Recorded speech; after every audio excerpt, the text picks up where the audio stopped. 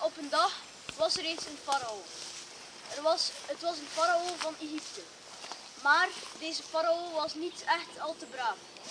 Hij was naar een ander land om een andere farao te gaan doden en al zijn goudstukken te stelen. Maar de Egyptenaren vonden dat natuurlijk niet prettig dat hun farao ehm, zo'n misdaad had gepleegd. Dus brachten ze hem naar een verlaten eiland.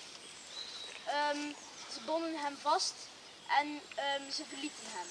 Tien dagen later kwamen ze kijken en ze zagen de farao ehm, met een geheime tempel met vijf dienaars. En eh, nu blikken we terug op dat stukje historie van deze farao.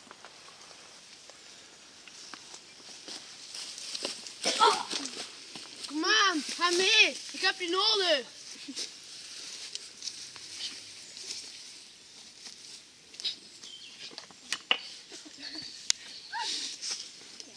Hallo, ik ben nu heel erg moe, want ik heb veel gewerkt aan mijn geheime tempel. Ik ga nu slapen. Daar.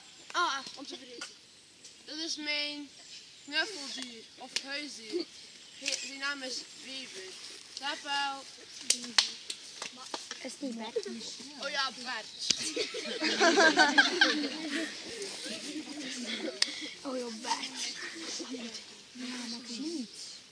Hmm.